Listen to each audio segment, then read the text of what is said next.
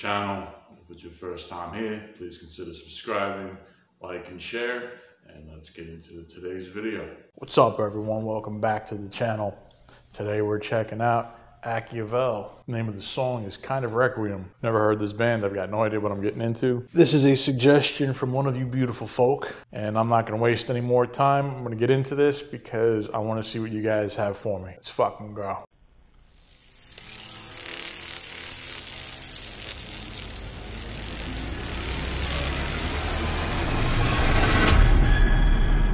This is going to be good.